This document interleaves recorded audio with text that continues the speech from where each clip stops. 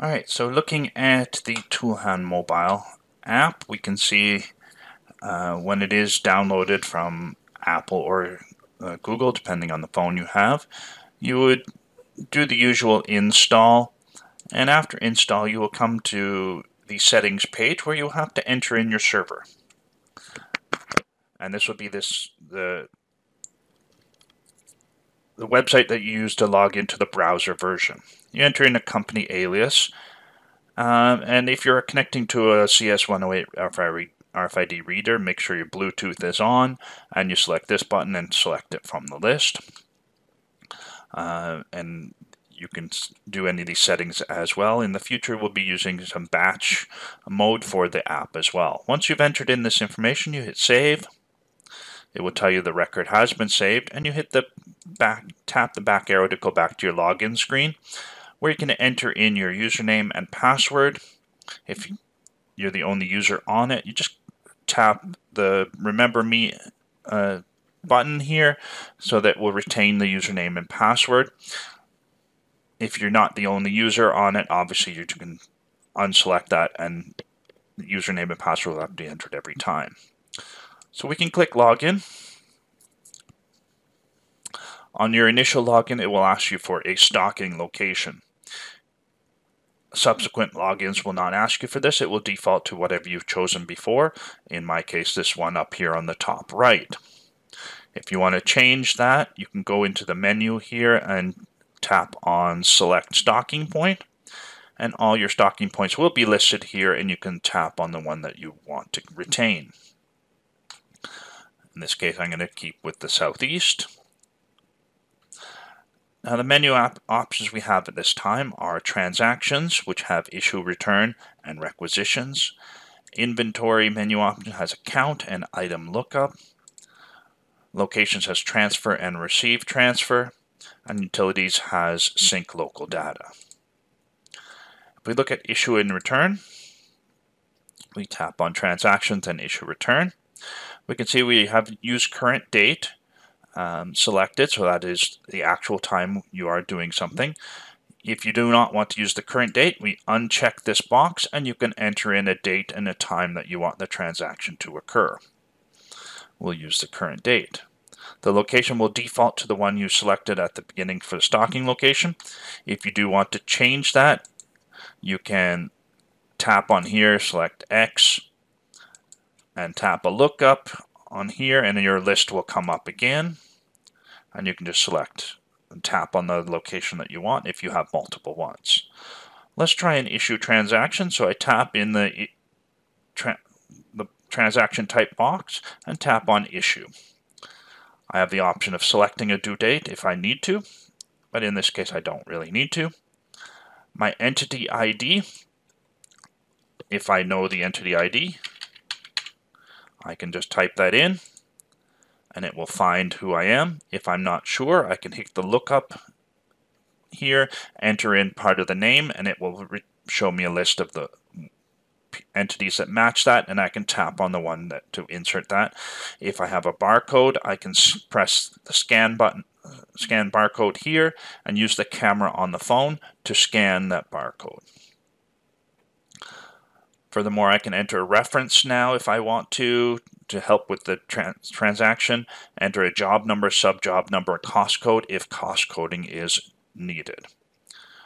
We can tap on cart at the bottom of the screen to go to the inventory ID to add to our, our list of what we want issued. Now here we can tap in the inventory ID field and type manually type in an ID if you know what that ID is. If you're not sure, you can hit the lookup here and enter in a description. Three three letters will be fine, and it's going to find what something that matches that. And you tap on that to add it to here. Now you can see this is the first one because it's issue one. So anytime you add subsequent, it's going to show up here.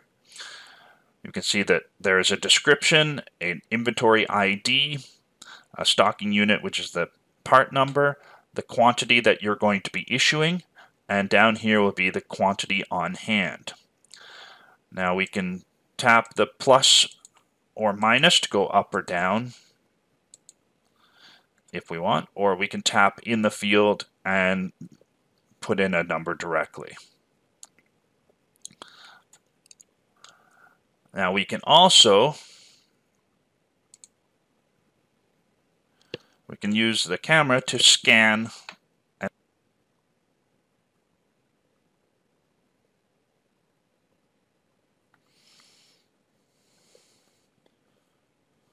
and this will add it to it, but I don't have the required certifications, but that's fine because it will still show up anyway.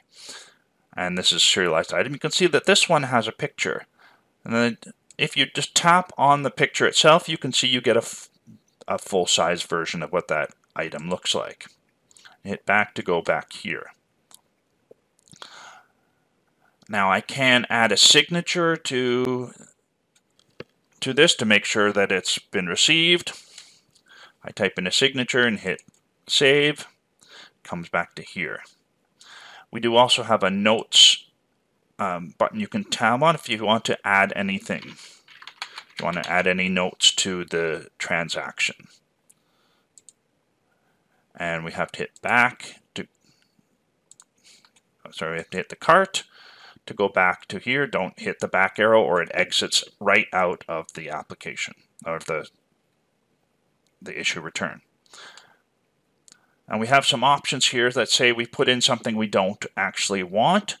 If you just want to delete one of these items, you tap and hold on the item and swipe a little bit to the left and you will see there's a delete and you can press that delete and the item will be gone.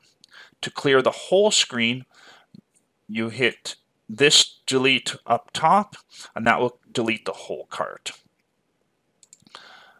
but we don't want to delete. So if we're ready to issue out, we can just hit save. Are you sure you want to? Hit yes, we do. And it will save it and give us a number.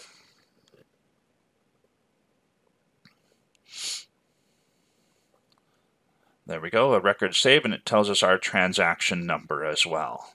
Just hit OK, and now we're ready to begin again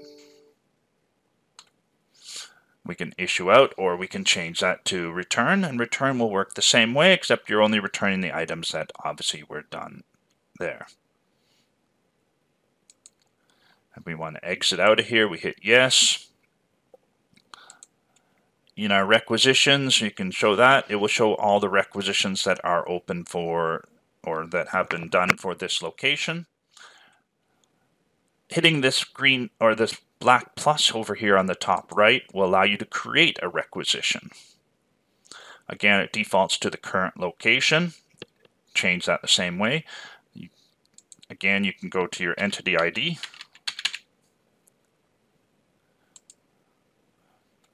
It puts that in. You can select a reservation, reference, job number, or cost coding if required. Then you can go to your cart and where it says stocking unit, this is the part number. So if you're not sure, you can either scan one if you have part number barcodes, or you can hit the lookup and start typing in something and tap on it and it will come in there. And you can tap in the box and type in the number that you want. Tap outside of it to show that that's the number that is required. And then you'll just hit save. Make sure yes. And it will give you your transaction requisition number. And of course, you do have to go back to your browser to approve this or, or and then ready to pick it. Obviously, inventory, you have count. These will show you a list of the counts that uh, have been done for this location. Again, hitting the black plus on tapping will allow you to create your, your count.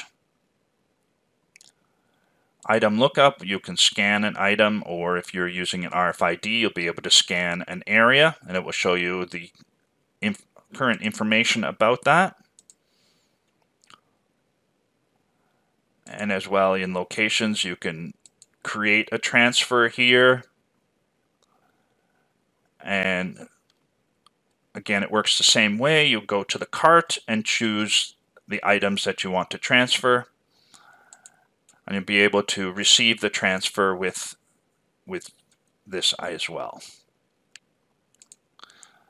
In our menu, you will be able to see a few things. The settings, you'll be able to go into the settings and do any changes there.